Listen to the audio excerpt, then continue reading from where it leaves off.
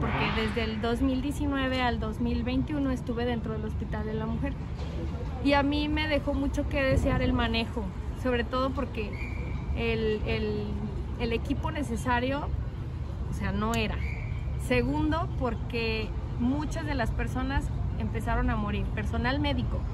Y tercero, pues nuestra salud mental tampoco estuvo atendida. Te invito a que te digan, pasa a revisar a aquel niño con sospecha de COVID y pues los gogles están lavados. O sea, ya los usó alguien más, ¿no? Y hay este equipo, pero no hay, no hay cubrebocas N95, es lo que tú traigas. Eso genera mucha ansiedad. No, claro que es cuestión de gobierno estatal. Te voy a decir por qué.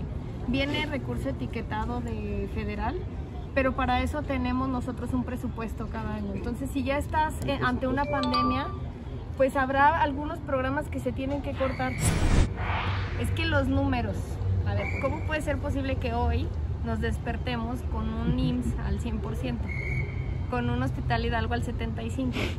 ¿Qué estamos haciendo si ya estamos ahorita con, con la con la, ay Dios mío, se me fue, la variante Delta, ¿sí? Se supone que ya tendría que haber un, un declive, ¿no? Porque somos los menos, los vacunados. Y sigue la, la, cantidad de personas. Es la educación hacia la población, ¿sí? La educación que empieza desde casa. Veo que la mayoría utiliza cubrebocas, ¿sí? Pero la mayoría lo utilizamos mal. No nos cubrimos la nariz, no lo quitamos a ratos, ¿sí? no mantenemos la sana distancia. O sea, si sigues teniendo hospitalizaciones es para que tu enfoque sea distinto. Busca otra manera de reactivar la economía sin tener que juntar a tanta gente.